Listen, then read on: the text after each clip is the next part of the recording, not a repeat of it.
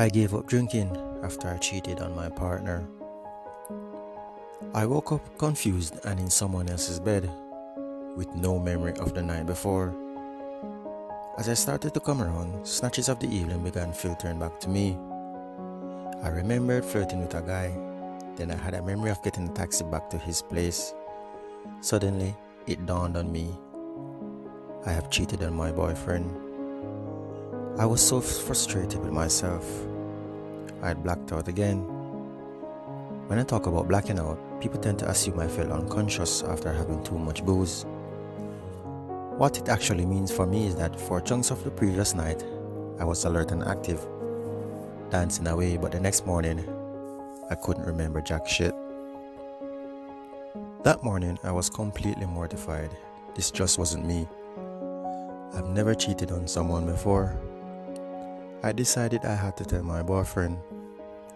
I knew the shame would eat me up otherwise, and I wouldn't have been able to hide it. We were a long distance, and I didn't want to tell him over the phone, so I got straight on a coach to see him. It was a long ride from London to Liverpool.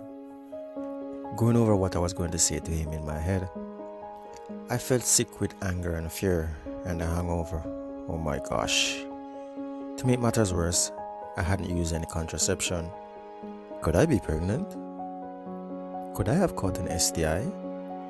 My thoughts were building up and I was complete wreck for the time I arrived.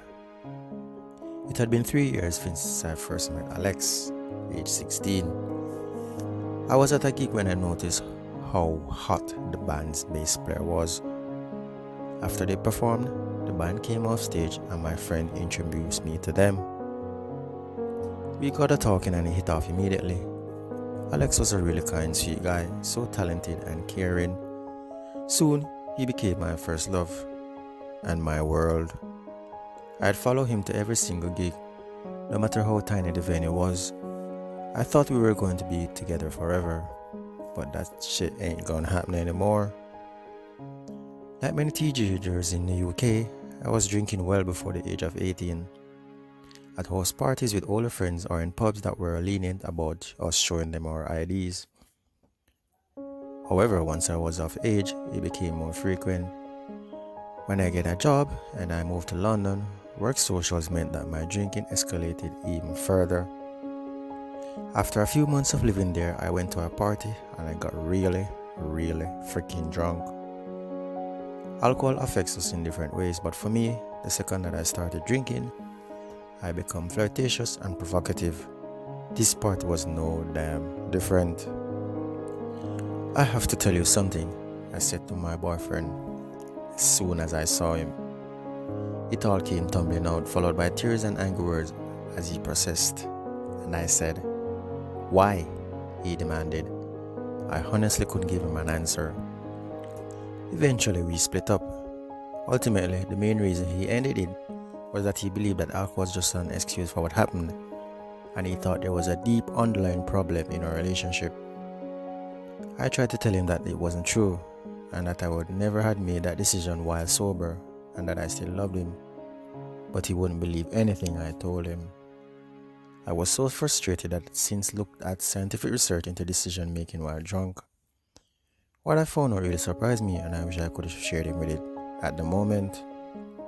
The breakup was really hard. I started drinking more as a way to self medicate myself. After three years of single life, which for me meant lots more drinking and partying, I met someone new and it was going freaking great. Mark and I fell in love and we moved in together, but as my drinking continued, I started flirting with other men. Whenever I became drunk, I would become such a more outgoing and sexual person. I found myself touching men's arms and being really jokey with them. There was one person this happened with a lot, one of my male friends. We used to send each other flirty messages. One time, we were arranging to meet up via text, but I was really drunk. I can't wait to see you. Kisses, I wrote. Is it wrong what I meant to say I want to kiss you?